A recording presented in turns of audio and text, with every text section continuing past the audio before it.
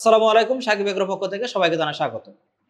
আজকে আলোচনা করব মাছ চাষের জন্য vitamin C enzyme multivitamin, probiotic. এই জিনিসগুলো কাজ কি এবং কি কীভাবে কাজ করে এবং না দিলে বা ব্যবহার না করলে কি কি সমস্যা হইতে পারে সেই সম্পর্কে। তো চলুন শুরু করা যাক। সংক্ষিপ্ত একটা ভিডিও হবে, তবে ভিডিওটা অবশ্যই আপনাদের কাজের জন্য আসবে। সেক্ষেত্রে আপনারা সম্পূর্ণ ভিডিওটি দেখবেন এবং যারা এখনও চ্যানেলটিকে সাবস্ক্রাইব করেনি সাবস্ক্রাইব করে দেবেন যাতে নতুন নতুন যত ভিডিও আসে সবগুলো দেখতে পারেন। যখন আপনি মাছ চাষ শুরু করতে যাচ্ছেন, মাছ চাষ শুরু করতে গেলে প্রথম যে জিনিসটা আপনাকে জানতে হবে যে মাছের গ্রোথ যত দ্রুত নিয়ে আসা যায়, তত দ্রুত বিক্রি করা যাবে। এবং যত দ্রুত বিক্রি করতে পারবেন, তত আপনার কি করবেন আর একবার মাছ চাষে দিতে পারবেন এবং ভালো প্রফিট করতে পারবেন। এই জায়গায় আমরা খামারিরা কয়েকটা জায়গাতে সমস্যা করে থাকি। সেটা হলো এক নম্বর ভালো মানে পোনা খুঁজি না, দুই নম্বর হলো মাছের ঘনত্ব অধিক দিয়ে ফেলি, তিন নম্বর মাছের কতটুক জায়গাতে কতটুক মাছ চাষ করা যায় এবং কি ওই জন্য তাদের কি পরিমাণ অক্সিজেন দরকার হয়, কি পরিমাণ অক্সিজেন চাহিদা আছে, সেই চাহিদাটা আমরা ফিল আপ করতে পারি না। তখন কিন্তু মাছের গ্রোথ আসে না। তারপর দেখা যায় কি মাছের গ্রোথ থেমে গেছে, তখন আমরা চিন্তা করে থাকি মাছের এখানে কি করা যায়। তো আগে থেকে যদি আপনি সঠিক ইনফরমেশন জেনে যে মাছ শুরু করতেন, তাহলে কিন্তু এই সমস্যাগুলো পড়তে হতো না। এখন আসি যে এই vitamin C enzyme multivitamin probiotic এগুলো দেখে মাছের গ্রোথ বাড়ানো যায় কিনা? এখন প্রথম বিষয় হলো যে আপনার মাছের গ্রোথ যদি অতিরিক্ত বেশি হয়ে থাকে, সেক্ষেত্রে কিন্তু আগে এয়ার অর্ডার দিতে হবে। এয়ার অর্ডার যদি না দেন, সেক্ষেত্রে অক্সিজেন সাপ্লাই ব্যবস্থা হচ্ছে না। এই জায়গায় আপনি ভিটামিন সি কেন মাল্টিভিটামিন কেন, যাই তাই খাওয়ালেও কিন্তু মাছ বড় হবে না। তার মানে প্রথম কাজ হবে, আপনার যদি অধিক কোনোতে মাছ চাষ হয়, সেক্ষেত্রে অবশ্যই অবশ্যই আপনার পুকুরে এয়ার অর্ডার ব্যবস্থাপনা রাখা। আর যদি আপনি যদি এয়ার অর্ডার ব্যবস্থাপনা না রাখতে পারেন, তাহলে মাছের ঘনত্ব সঠিক রাখতে হবে বা মাছের ঘনত্ব বেশি দেওয়া যাবে না। তো আশা করি বুঝতে পারছি।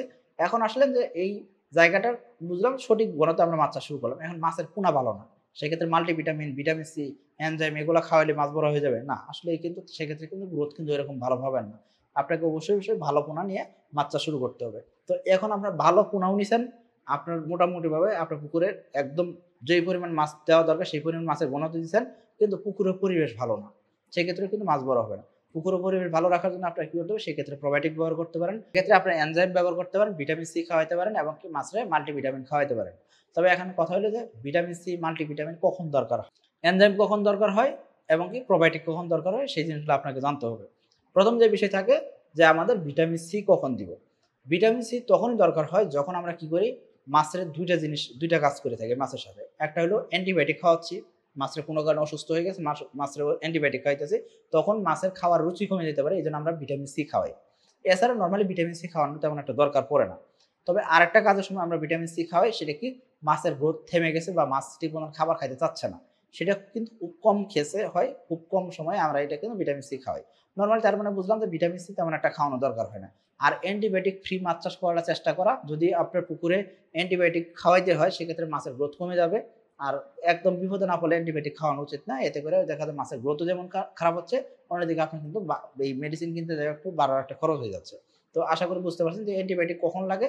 নর্মালি পুকুরে পরিবেশ ভালো নাই, মাছের ঘনত্ব বেশি আছে মাছ বিভিন্ন ধরনের রোগ ব্যাধিতে আক্রান্ত হচ্ছে, মাছের পোনা ঠিক নাই। তো সবকিছু মিলাতে কিন্তু তখন কিন্তু আপনার কিন্তু অ্যান্টিবায়োটিকের দরকার হয়। তার আগে কিন্তু অ্যান্টিবায়োটিক দরকার হয় না। তো আমরা চেষ্টা করব অ্যান্টিবায়োটিক ফ্রি মাছ চাষ করার জন্য। আমরা তাহলে বুঝলাম যে ভিটামিন সি কখন ব্যবহার করব? ভিটামিন সি দুইটার সময় তাহলে কি বলছি? নর্মালি মাছের গ্রোথ থেমে গেলে অথবা যখন অ্যান্টিবায়োটিক খাওয়াচ্ছে তখন। এছাড়া কিন্তু নর্মাল ভিটামিন সি এর দরকার হয় না।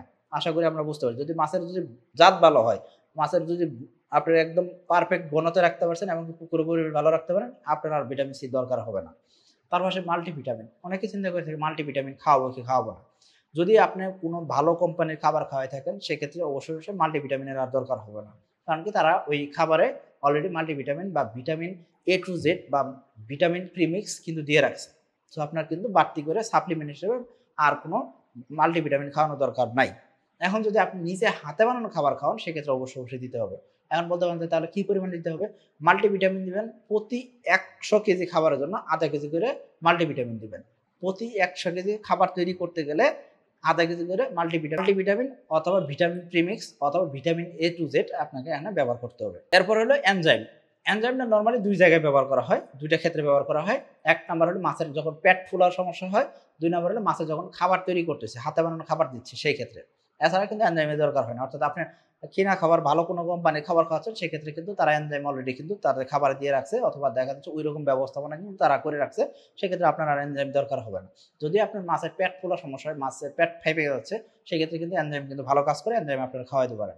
আর যদি আপনি যদি হাতে বানানো খাবার খান, সেক্ষেত্রে এনজাইম অবশ্যই দিয়ে- নেবেন। এতে করে আপনার কিন্তু মাছের কিন্তু ভালো গ্রোথ আসবে আপনার মাছের পাকস্থলী ভালো থাকবে এবং মাছ কিন্তু সুস্থ সবলভাবে বেড়ে উঠবে। তারপর লাস্ট যে বিষয়টা, সেটা প্রোবায়োটিক প্রোবায়োটিকটা আসলে মাসে মাসে অবশ্যই ব্যবহার করতে হবে। এটা আর খাবারের সাথে ব্যবহার করতে হয় না। প্রোবায়োটিকটা পুকুরে ব্যবহার করতে হয়। কারণ কি পুকুরে পরিবেশ ভালো রাখতে পারলে সেক্ষেত্রে মাছের কার রোগ ব্যাধি হয় না। প্রথমে আমাদের দরকার ছিল ভালো মানের পোনা। দ্বিতীয় দরকার ছিল মাছের ঘনত্ব সঠিক আছে কিনা। তৃতীয় যে বিষয় সেটা আমাদের পুকুর ব্যবস্থাপনা পুকুর ব্যবস্থাপনা ভালো রাখতে গেলে অবশ্যই অবশ্যই আমাদের কি করতে হয়? আমাদের এই জায়গায় প্রোবায়োটিক ব্যবহার করতে হয়। এই প্রোবায়োটিকটা আমরা যদি মাসে মাসে ব্যবহার করি, সেক্ষেত্রে আমাদের দেখা যায় কি বিভিন্ন ধরনের রোগ ব্যাধি থেকে মাছকে রক্ষা করতে পারব। প্রাকৃতিক খাবার তৈরি হবে এবং মাছের কি হবে? সুস্থ সবলভাবে বেড়ে উঠবে। মাছ সহজে মারা যাবে না। মাছের রোগ আক্রান্ত হওয়ার চান্স কমে গেলে সেক্ষেত্রে দেখা যাবে কি মেডিসিন খরচ কমে যাবে। আপনার অলরেডি কিন্তু আপনি লাভবান হতে পারবেন।